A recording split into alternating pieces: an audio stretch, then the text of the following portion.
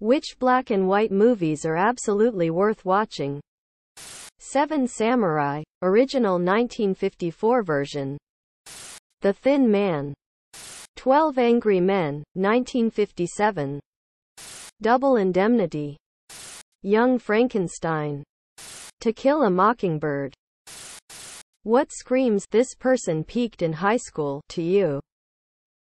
Regularly reposting the same picture of the one notable moment that they had in high school. One guy the first knew literally got our school emblem and mascot in a huge class of 2010 inches tattooed on his shoulder. My ex-stepmother constantly bragged about being a cheerleader in high school and winning a beauty walk. In a town of like 500 people. She was still bragging about these the last time I saw her. She was in her mid-40s. Still acting like a typical, mean girl, when they're damn near, or past, 30. Anyone who bullies other adults as if they were still in high school. I graduated in 05. I was sitting at a tire shop waiting for my truck to get done and an employee slightly older than me walks up to me and asks me, with no previous interaction, if I played football in high school. Wondering where this was going. I responded that I did. But I wasn't great at it. He asked what school I went to. And I told him. Then he starts talking about himself. How he was all conference, and walking me through all of his high school accolades. I never asked for this conversation. I just sat there wondering why this nearly 40 year old, wildly out of shape, tire shop supervisor was telling me all of this. Then just as soon as it started he bid me good day and walked off.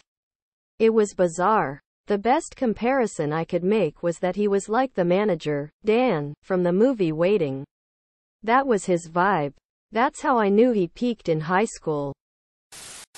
Who did not deserve to get cancelled?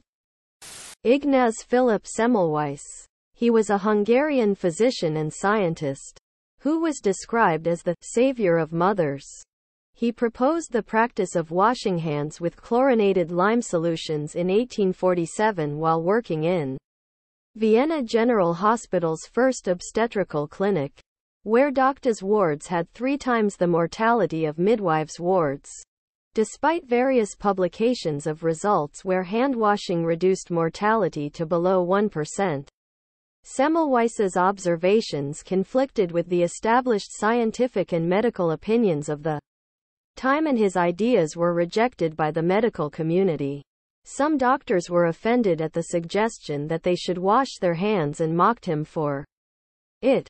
In 1865, the increasingly outspoken Semmelweis allegedly suffered a nervous breakdown and was committed to an asylum by his colleagues. In the asylum he was beaten by the guards. He died 14 days later from a gangrenous wound on his right hand that may have been caused by the beating.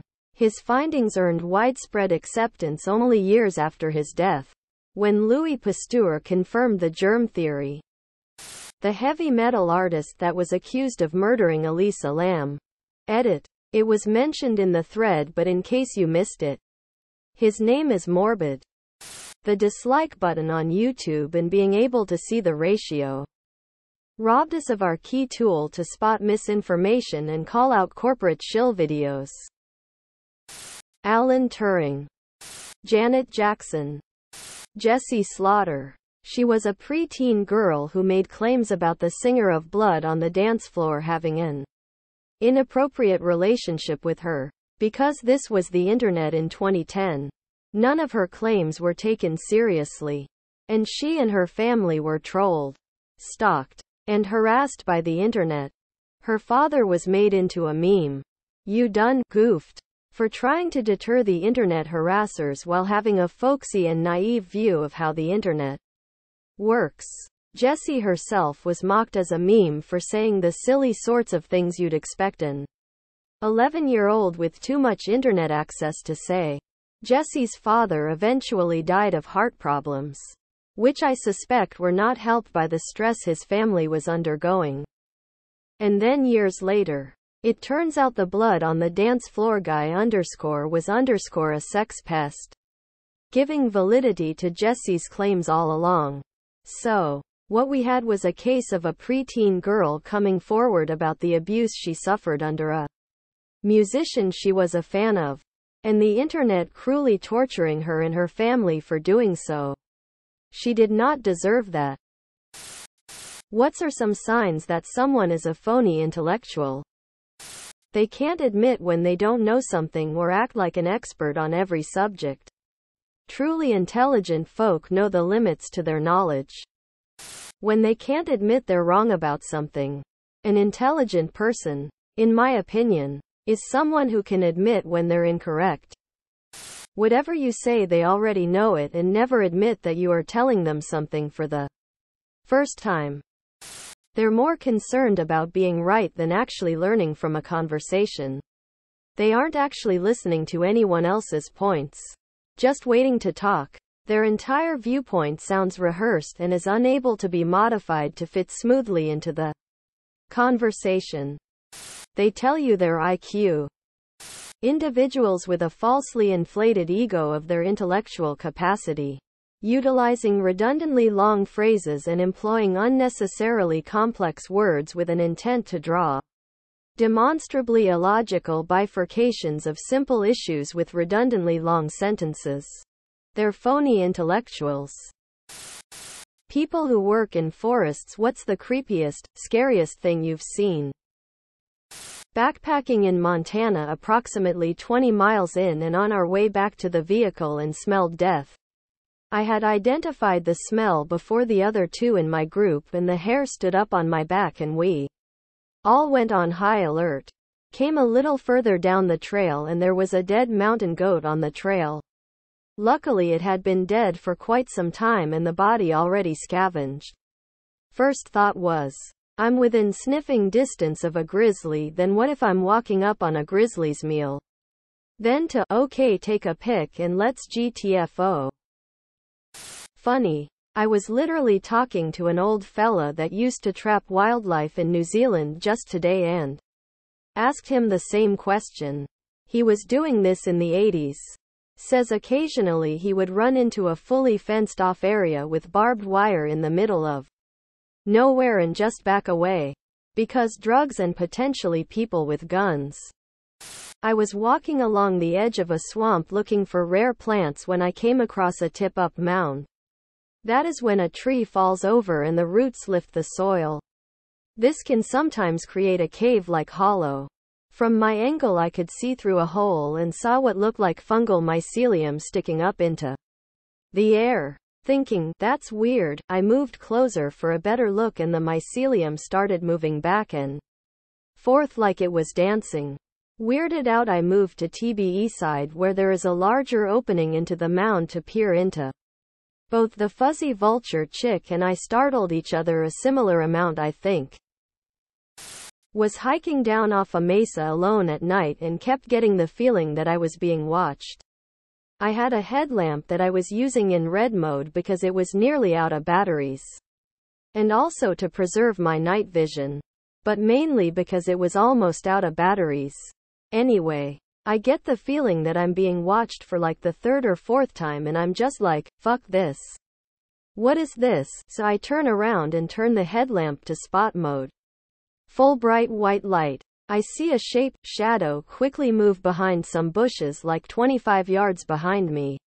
Real low. Real fast. Real smooth. I stood there for maybe a minute weighing my options and decided I pretty much had none and just had to keep hiking. I started making more noise and tried to look bigger. Like by spreading my arms with my rain jacket. I also found a good sized stick. The worst part was I had to go back to red light mode as I knew I didn't have enough battery life. To make it back with the white light mode, I'd turn around occasionally and use the spot mode and I saw green reflected eyes several times. When doing so, always about 25 yards off and always low to the ground seemed about the size of a deer. But deer don't hang out that low to the ground. Well, or follow you for miles. I turned around and saw these eyes probably about 10 times. I called my friend after I kept seeing the eyes and hiked the rest of the way down talking to him. basically said, if I don't get back in about an hour. Here's where you can find my body, lol. It was about a five mile hike and my light was flickering and dying towards the end. It died after I got off the mesa and I hiked the last few miles through fields without a light. Luckily it was a clear night. The stalking stopped once I left the mesa. At least I think. And that's the story of when I was stalked by a mountain lion all the way off his mesa. I think I was in his hunting territory and it had only just gotten dark. Pretty sure he was curious more than malicious. But man yeah it's pretty creepy knowing that you're being followed and watched by a mountain lion. I worked in national parks and also did some volunteer search and rescue. I guess I can talk about two of the worst things I ever saw in forestry. The latter one is scary, but also deeply tragic. Spooky. I was on a multi-day off-road camping trip by myself in the wilderness. So technically I was not working. I had found myself enjoying a night in the woods. Slightly tipsy on wine. I settled in for the night in my SUV and awoke to yelling far in the distance. It wasn't screaming, but nor was it singing.